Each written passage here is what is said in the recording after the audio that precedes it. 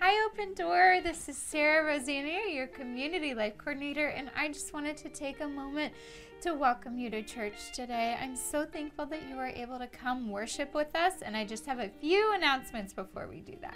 The first thing I wanted to tell you about is something called Sunday in the Garden over in our kids' ministry.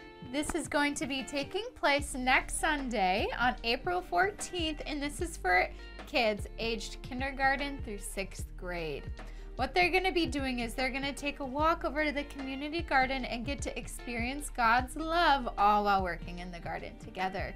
This is something you have to register for. So go ahead and go online to our events page and register your kiddo. Again, it's only during first service, so make sure you register them so they can go with everyone. The second thing I want to tell you is that the living room is back. The Kuipers' heart behind this is that they really want to gather people in the church and really help them refine their marriage behind the walls of their own home. It's a beautiful time of fellowship and faith, and we would love to have you be a part of it if you haven't been before. This is going to take place on Monday evening starting on April 22nd. There's six slots available, so if that's something that you're interested in, go online and register today. The third thing I wanted to remind you of is that the Journey's next class titled Things I'd Wish I'd Known is starting today. This class is going to be exactly what it sounds like. They're going to have some couples share with you some things that they wish that they had known while they were raising their children. Again, that's going to be happening in H1, the Journey classroom during second service.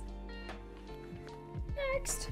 The fourth thing that I want to tell you about is that our legacy class is also picking back up today, and this is going to be titled A Story Worth Telling. They are going to be teaching you on how to tell your story for God's glory. This is going to be led by Bob Ryan, and you're not going to want to miss it. Okay, Open Door, the fifth and final thing I'm going to remind you of is that Spring Women's Bible Study is starting soon. Make sure you go online to register. They're going to be going over the book of Philippians And I truly don't know what to say other than you won't want to miss it. It's going to be a really sweet time, and the book of Philippians is one of my favorite books, and I know you're going to love it too. So make sure you go online to register. All right, Open Door, that sums up everything I needed to tell you today. Thank you so much for listening. I hope you have a great day. Bye.